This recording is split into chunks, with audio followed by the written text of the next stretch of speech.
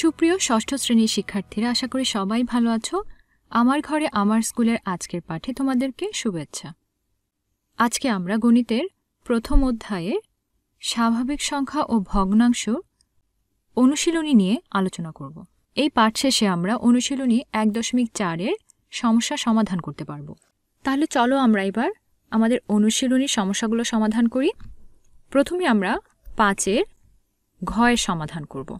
এখানে তিনটি রাশি আছে, এই তিনটি রাশিকেই যোগ করতে হবে। এখানে লক্ষ্য করে দেখো, এখানে কিছু পূর্ণ সংখ্যা আছে, যেমন সত্তর মিটার, আশি মিটার, সেই সাথে এখানে কিছু ভগ্নাংশ আছে এবং ভগ্নাংশগুলো মিশ্র ভগ্নাংশে আছে। এখানে নয় সমস্ত দশ ভাগের সাত, এখানে আছে সতেরো সমস্ত পঞ্চাশ ভাগের তিন এবং এখানে আছে সাতাশ সমস্ত পঁচিশ ভাগের নয়। এই তিনটি মিশ্র ভগ্নাংশকে আমাদের প্রথমে অপ্রকৃত ভগ্নাংশে রূপান্তর করে নিতে হবে। তাহলে চলো আমরা ঘরের সমাধান করি। সত্তর মিটার এবং নয় সমস্ত দশ ভাগের সাত সেন্টিমিটার যোগ আশি মিটার এবং সতেরো সমস্ত পঞ্চাশ ভাগের তিন সেন্টিমিটার যোগ চল্লিশ মিটার এবং সাতাশ সমস্ত পঁচিশ ভাগের নয় সেন্টিমিটার। আমরা মিটার এবং সেন্টিমিটারের সংক্ষিপ্ত রূপগুলো লিখলাম। এবারে আমরা এই মিশ্র ভগ্নাংশগুলোকে অপ্রকৃত ভগ্নাংশে রূপান্তর করব। তাহলে আছে এখানে সত্তর মিটার এবং নয় সমস্ত দশ ভাগের সাতকে যদি অপ্রকৃত ভগ্নাংশে রূপান্তর করি, তাহলে হবে দশ ভাগের সাতানব্বই সেন্টিমিটার যোগ আশি মিটার। সতেরো সমস্ত পঞ্চাশ ভাগের তিন।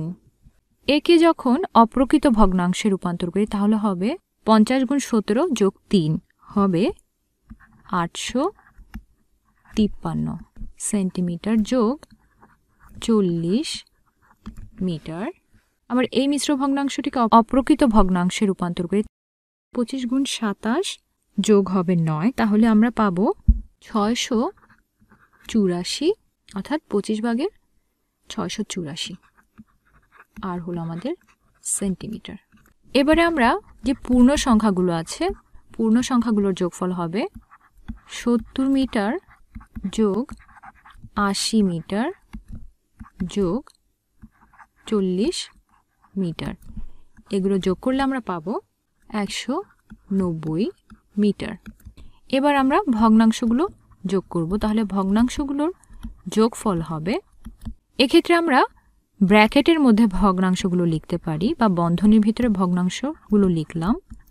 দশ ভাগের সাতানব্বই যোগ পঞ্চাশ ভাগের আটশো তিপ্পান্ন যোগ পঁচিশ ভাগের ছয়শো চুরাশি। এবং বন্ধনীর বাইরে আমরা সবগুলোর একক একসাথে লিখলাম সেন্টিমিটার। এখানে তিনটি ভগ্নাংশ আছে এবং দশ, পঞ্চাশ, পঁচিশের লসাগু হল পঞ্চাশ। পঞ্চাশকে দশ দিয়ে ভাগ করলে হয় পাঁচ পাঁচ গুণ সাতানব্বই হবে চারশো পঁচাশি।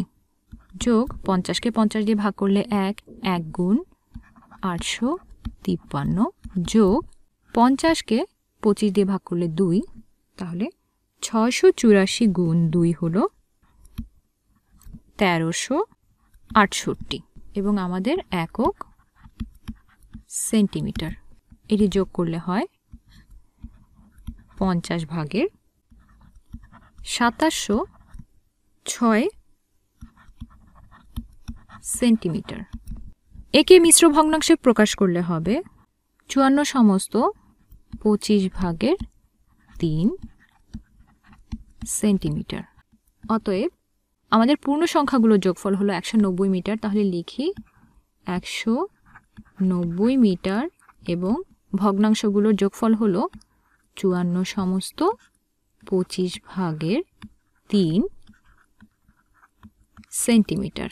এটি আমাদের উত্তর। এবারে চলো পরের সমস্যাটি দেখি।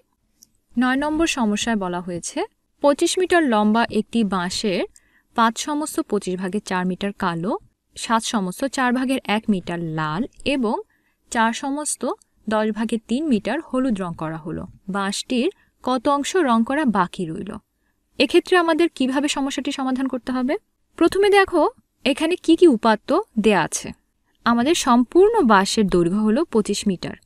অর্থাৎ বাঁশটি পঁচিশ মিটার লম্বা, কালো রং করা হয়েছে পাঁচ সমস্ত পঁচিশ ভাগের চার মিটার, লাল রং করা হয়েছে সাত সমস্ত চার ভাগের এক মিটার এবং হলুদ রং করা হয়েছে এই চার সমস্ত দশ ভাগের তিন মিটার। এই তিনটি রং যে করা হয়েছে, তারপরও কিছু অবশিষ্ট অংশ বাকি আছে আমাদেরকে।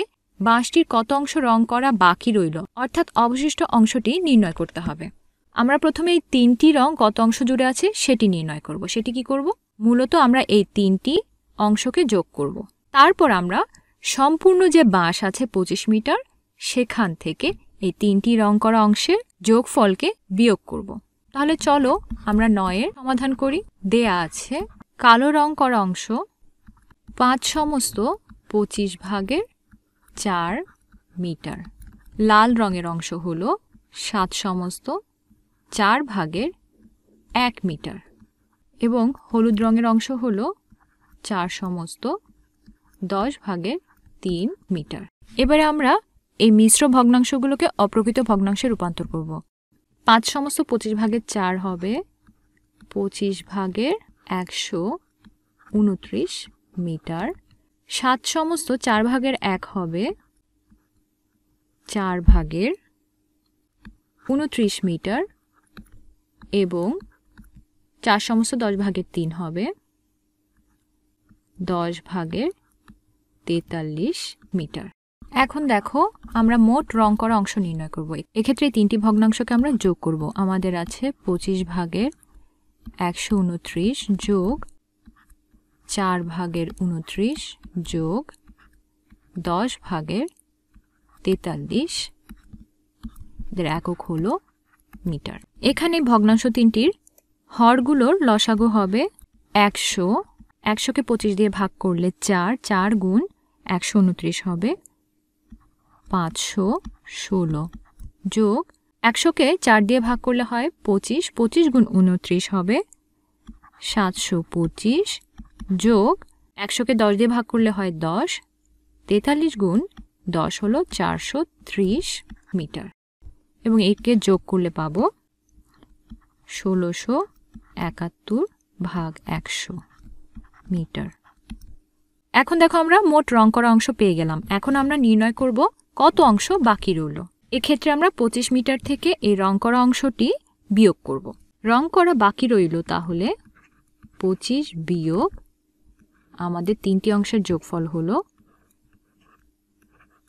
একশো ভাগের ষোলোশো একাত্তর। এবং এদের একক হবে মিটার। পঁচিশের নিচে হর হিসেবে আছে এক এক আর একশো এর লসাগু হবে একশো। এক দিয়ে ভাগ করলে একশো, তাহলে পঁচিশের সাথে একশো গুণ করলে হবে পঁচিশশো বিয়োগ একশোকে একশো দিয়ে ভাগ করলে এক, ষোলোশো একাত্তরকে এক দিয়ে গুণ করলে ষোলোশো একাত্তর মিটার। এবার একে বিয়োগ করলে আমরা কি পাচ্ছি? বিয়োগ করলে আসবে একশো ভাগের আটশো উনত্রিশ মিটার। একে মিশ্র ভগ্নাংশে পরিণত করি, তাহলে হবে আট সমস্ত একশো ভাগের উনত্রিশ মিটার। তাহলে অবশিষ্ট আছে বা রং করা বাকি রইল আট সমস্ত একশো ভাগের উনত্রিশ মিটার। আমাদের উত্তর তাহলে আট সমস্ত একশো ভাগের উনত্রিশ মিটার। এবারে চলো আমরা এরপরে এগারো নম্বর সমস্যাটি সমাধান করি। এখানে দেখো এগারো নম্বর সমস্যায় বলা হয়েছে জাবির অতিক্রান্ত মোট পথের দশ ভাগের তিন অংশ রিকশায়, পাঁচ ভাগের দুই অংশ সাইকেলে, পাঁচ ভাগের এক অংশ হেঁটে এবং অবশিষ্ট দুই কিলোমিটার পথ। এখানে লক্ষ্য করে দেখো, অবশিষ্ট দুই কিলোমিটার পথ ঘোড়ার গাড়িতে গেল।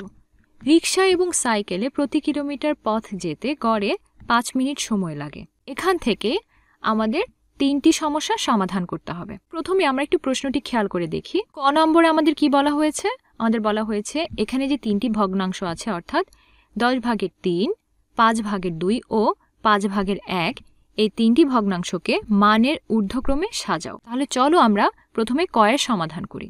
এখানে তিনটি সাধারণ ভগ্নাংশ দেওয়া আছে। প্রথমে আমাদের ভগ্নাংশগুলোর যে হর, অর্থাৎ দশ, পাঁচ পাঁচ এর লসাগু নির্ণয় করতে হবে। দশ পাঁচ পাঁচ এর লসাগু হবে দশ। এরপরে আমরা এখন এই তিনটি ভগ্নাংশকে সমহর বিশিষ্ট ভগ্নাংশে রূপান্তর করব। তাহলে সমহর বিশিষ্ট ভগ্নাংশে রূপান্তর করলে আমরা পাই, প্রথম ভগ্নাংশটি হবে দশ ভাগের তিন। এক্ষেত্রে এই তিনটি ভগ্নাংশকে যখন আমরা সমহর করব, তখন আমাদেরকে এদের হর দশ করতে হবে। এখানে প্রথম ভগ্নাংশের হর দশ আছে, আবার লসাগু দশ। তাহলে প্রথম ভগ্নাংশের হর এবং লবে আমাদের মূলত এক দিয়ে গুণ করতে হবে। তাহলে সেটি হবে দশ ভাগের তিন। দ্বিতীয় ভগ্নাংশটি আমাদের কি আছে? পাঁচ ভাগের দুই। এই হরকে দশ করতে হলে আমাদের দুই দিয়ে গুণ করতে হবে। তাহলে আমরা লবেও দুই দিয়ে গুণ করব। এটি হবে দশ ভাগের চার। তৃতীয় ভগ্নাংশটি হলো পাঁচ ভাগের এক। এই পাঁচকে দশ করতে হলে আমাদের হরকে দুই দিয়ে গুণ করতে হচ্ছে, অর্থাৎ পাঁচ গুণ দুই এবং উপরে লব এক গুণ দুই। তাহলে হবে দুই ভাগ দশ। তাহলে সমহর বিশিষ্ট ভগ্নাংশগুলো হলো দশ ভাগের তিন, দশ ভাগের চার এবং দশ ভাগের দুই। যেহেতু ভগ্নাংশগুলো সমহর বিশিষ্ট, এক্ষেত্রে আমাদের লবগুলো খেয়াল করতে হবে। তখন আমরা লবগুলোকে ঊর্ধ্বক্রমে সাজালে পাবো। ছোট থেকে বড় অনুসারে সাজাতে হবে। সেক্ষেত্রে হবে দুই, তারপর তিন তিন থেকে বড় হলো চার। এই ভগ্নাংশগুলো লবগুলোকে ঊর্ধ্বক্রমে সাজিয়েছি। এবার আমরা এই লব অনুসারে ভগ্নাংশগুলোকে ঊর্ধ্বক্রমে সাজালে পাবো। আমাদের এই ভগ্নাংশটি লব দুই, তাহলে এটি হবে দশ ভাগের দুই। এরপর দশ ভাগের দুই থেকে বৃহত্তর হলো দশ ভাগের তিন। দশ ভাগের তিন এবং এর থেকে বৃহত্তর হবে দশ ভাগের চার। বা দশ ভাগের দুই হলো আমাদের পাঁচ ভাগের এক। পাঁচ ভাগের এক, দশ ভাগের তিন। দশ ভাগের তিন, চার ভাগের দশ হলো পাঁচ ভাগের দুই। পাঁচ ভাগের দুই। তাহলে আমরা যদি ঊর্ধ্বক্রমে অর্থাৎ ছোট থেকে বড় অনুসারে সাজাই, তাহলে পাব পাঁচ ভাগের এক ক্ষুদ্রতর দশ ভাগের তিন, ক্ষুদ্রতর পাঁচ ভাগের দুই। এবার লক্ষ্য করো আমাদের খ নম্বরে কি বলা হয়েছে। বলা হয়েছে, অতিক্রান্ত মোট পথের দূরত্ব নির্ণয় করো। আমাদের এখানে তো মোট পথ দেয়া নেই। এখানে যে ভগ্নাংশগুলো আছে, কোনোটাই কিন্তু আসল পথের পরিমাণ নয়। প্রতিটি একটি অংশ হিসেবে প্রকাশ করা হয়েছে। তাহলে চলো খ নম্বর আমরা কীভাবে সমাধান করব একটু দেখি। এখানে একটি জিনিস দেখো, দুই কিলোমিটার পথ ঘোড়ার গাড়িতে যায়। তাহলে আমরা কীভাবে কাজটি করব? মোট সম্পূর্ণ পথ যদি আমরা ধরে নিই এক অংশ, সেক্ষেত্রে আমাদের এই তিনটি অংশকে যোগ করতে হবে। তিনটি যোগ করে আমরা এই সম্পূর্ণ যে পথ আছে, সেটি থেকে তিনটি অংশের যে সমষ্টি, সেটিকে বিয়োগ করব। আর তাহলে যে বিয়োগ ফলটি পাবো, সেটি হবে আমাদের এই দুই কিলোমিটার। সেখান থেকে আমরা আমাদের মোট অতিক্রান্ত পথটি নির্ণয় করে ফেলতে পারব। সেটি কীভাবে করব? চলো এবার দেখি। ক্ষয়ের সমাধান হবে। প্রথমে আমাদেরকে রিক্সা সাইকেল এবং কত অংশ হেঁটে যায় সেটি নির্ণয় করতে হবে। জাবিদ রিক্সা সাইকেল এবং হেঁটে অতিক্রান্ত করে। দশ ভাগের তিন যোগ পাঁচ ভাগের দুই যোগ পাঁচ ভাগের এক অংশপদ। এটিকে যোগ করলে আমরা পাব দশ পাঁচ পাঁচ এর লসাগু হবে দশ। এক্ষেত্রে আমাদের এটি হবে তিন যোগ দশকে পাঁচ দিয়ে ভাগ করলে দুই। দুই গুণ দুই হলো চার যোগ দশকে আবারও পাঁচ দিয়ে ভাগ করলে দুই। এক গুণ দুই হলো দুই সমান দশ ভাগের নয় অংশ। মনে করি আমাদের সম্পূর্ণ পথ হলো এক অংশ তাহলে যাবি ঘোড়ার গাড়িতে করে যায় অবশিষ্ট অংশ, আর সেটি কি হবে? এক বিয়োগ আমাদের এই তিনটি অংশের সমষ্টি। সেটি হচ্ছে দশ ভাগের নয় অংশ। তাহলে হবে এর হর আছে এক, দশকে এক দিয়ে ভাগ করলে দশ, এক গুণ দশ হলো দশ বিয়োগ দশকে দশ দিয়ে ভাগ করলে এক, নয় গুণ এক হলো নয় সমান দশ ভাগের এক অংশ। লক্ষ্য করে দেখো, এই অংশটি আমাদের সেই ঘোড়ার গাড়িতে যাওয়ার দুই কিলোমিটার। অতএব আমরা বলতে পারি দশ ভাগের এক অংশ সমান হলো দুই কিলোমিটার বা সম্পূর্ণ অংশ সমান হবে দুই গুণ। এই দশ ভাগের এক এ পাশে চলে আসলে ভাগ হওয়ার কথা। আর ভাগের সময় সেটি বিপরীত ভগ্নাংশ দিয়ে গুণ হয়, তখন হয়ে যাবে এক ভাগের দশ কিলোমিটার সমান এটি হবে বিশ কিলোমিটার। অতএব আমরা কিন্তু এখান থেকে আমাদের সম্পূর্ণ যে পথ, সম্পূর্ণ পথ পেয়ে গেলাম আর সেটি হলো বিশ কিলোমিটার। তাহলে অতিক্রান্ত মোট পথের দূরত্ব হলো বিশ কিলোমিটার। এবার দেখো গ নম্বরে বলা হয়েছে জাবিদ রিক্সায় ও সাইকেলে মোট কত সময় ব্যয় করে? আমরা এখন নির্ণয় করলাম মোট অতিক্রান্ত পথ হলো বিশ কিলোমিটার। আমাদেরকে রিক্সায় কতটুকু পথ অতিক্রম করে সেটি নির্ণয় করতে হবে, সেই সাথে সাইকেলে অতিক্রান্ত পথও নির্ণয় করতে হবে। আমরা মোট অতিক্রান্ত পথ বিশ কিলোমিটারের সাহায্যে এই দুটি পথ নির্ণয় করব। তারপরে আমরা নির্ণয় করতে পারব জাবিদ রিক্সায় ও সাইকেলে মোট কত সময় ব্যয় করে। তাহলে চলো এবার গয়ের সমাধান করি। গয়ের সমাধানের ক্ষেত্রে প্রথমে আমরা লিখি মোট অতিক্রান্ত পথ হল বিশ কিলোমিটার। জাবিদ রিকশায় যায় বিশ এর দশ ভাগের তিন কিলোমিটার। তাহলে এটি সমাধান করলে হবে। বিশকে দশ দিয়ে ভাগ করলে হয় দুই। তিন দুগুণে ছয় কিলোমিটার। আবার জাবিদ সাইকেলে যায়। বিশ এর পাঁচ ভাগের দুই কিলোমিটার। তাহলে বিশকে পাঁচ দিয়ে ভাগ করলে হয় চার চার দুগুণে আট কিলোমিটার পথ। অতএব জাবিদ রিক্সা ও সাইকেলে যায় ছয় যোগ আট কিলোমিটার। ছয় যোগ আট কিলোমিটার পথ অর্থাৎ চোদ্দ কিলোমিটার পথ।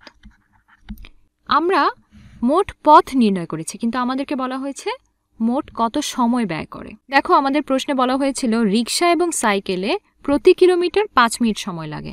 তাহলে রিক্সা ও সাইকেলে এক কিলোমিটার যেতে সময় লাগে পাঁচ মিনিট। আমাদের যেতে হচ্ছে চোদ্দ কিলোমিটার পথ। তাহলে চোদ্দ কিলোমিটার যেতে সময় লাগবে চোদ্দ গুণ পাঁচ মিনিট, অর্থাৎ সত্তর মিনিট। আমাদের মোট সময় নির্ণয় করে ফেললাম। দেখো, এক্ষেত্রে কিন্তু প্রথমে আমাদেরকে এই রিক্সার অতিক্রান্ত পথ এবং সাইকেলের অতিক্রান্ত যে পথ, সেটি নির্ণয় করে নিতে হয়েছে। দেখো, আমাদের যে রিক্সার অতিক্রান্ত দশ ভাগে তিন অংশ কিংবা সাইকেলের অতিক্রান্ত পাঁচ ভাগে দুই অংশের কথা বলা হয়েছিল, এটি কিন্তু আসল অতিক্রান্ত পথ ছিল না। আমরা প্রথমে মোট অতিক্রান্ত পথ বিশ কিলোমিটার নির্ণয় করেছি, তারপর আমরা এই বিশ কিলোমিটারের সাহায্যে দশ ভাগের তিন বিশ কিলোমিটারের কতটুকু পথ সেটি নির্ণয় করেছি। এভাবে আমরা রিক্সা এবং সাইকেলের আসল অতিক্রান্ত পথগুলো নির্ণয় করেছি। তারপরে আমরা নির্ণয় করতে পেরেছি আমাদের এই রিক্সা এবং সাইকেলে যেতে কতখানি সময় লাগে। তাহলে আমাদের উত্তর হলো সত্তর মিনিট। আজকে আমরা অনুশীলনী এক দশমিক চারের কিছু গাণিতিক সমস্যা সমাধান করেছি। তাহলে আজকের পাঠ এ পর্যন্তই। সবাই সুস্থ থেকো, ভালো থেকো এবং স্বাস্থ্যবিধি মেনে চলো। প্রিয় শিক্ষার্থীরা, এই ক্লাসটি তোমরা পুনরায় দেখতে চাইলে চোখ রাখো আমার ঘরে, আমার স্কুলের ফেসবুক পেজ এবং ইউটিউব চ্যানেলটিতে ধন্যবাদ সবাইকে।